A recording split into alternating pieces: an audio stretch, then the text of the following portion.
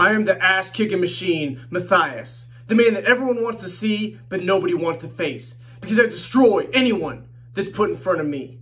And if you want to witness my path to destruction, follow me now, and I guarantee I'll give you a show you always remember.